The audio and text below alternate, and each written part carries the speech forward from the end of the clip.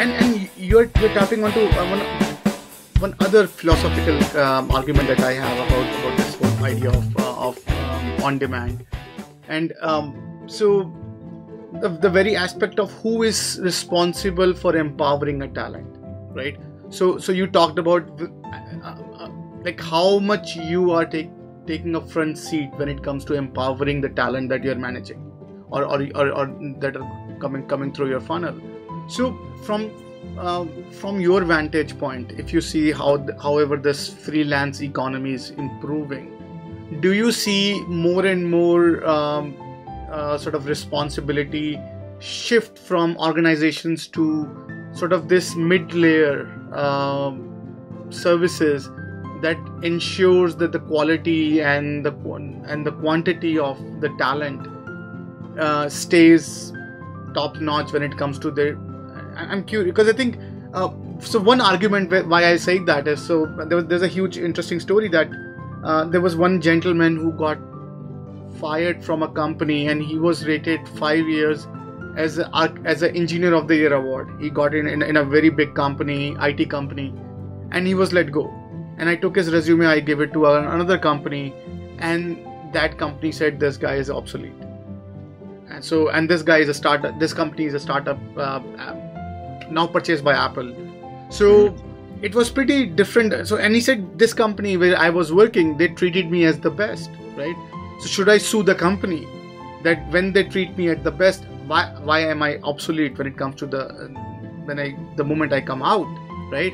So who is responsible because they were paying me? They want to make sure that I exist gainfully uh, and and where is the where is the ethical argument that who is responsible for uh, a talent being top notch. So I'm curious, what's your what's your take on it? So ultimately, I think the talent is responsible for keeping the talent's skills up to speed.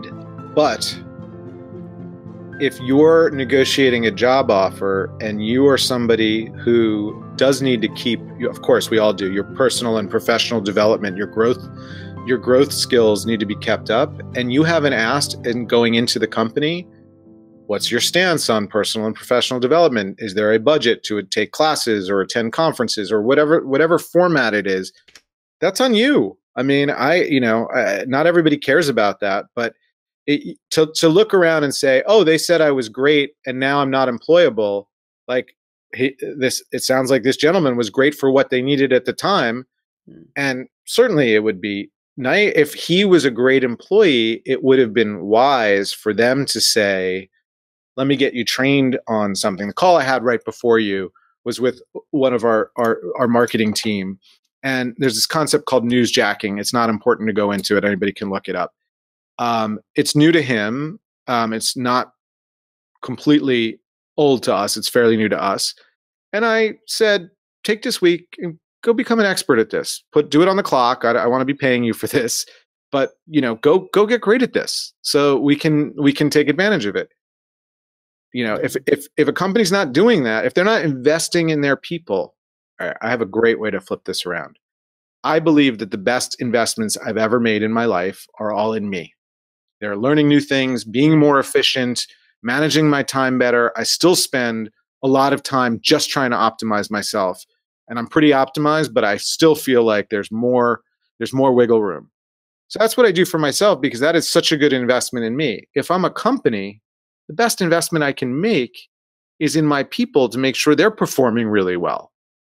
And companies that don't do that, that's a tissue. We'll just hire somebody else, and that's fine. Hmm. So that's that's a that's a philosophy. That's a way to go. I'm not. It's not how I choose to believe we should be, but that's okay. But you're going to have turnover, and turnover is expensive. Turnover is really, really, really expensive.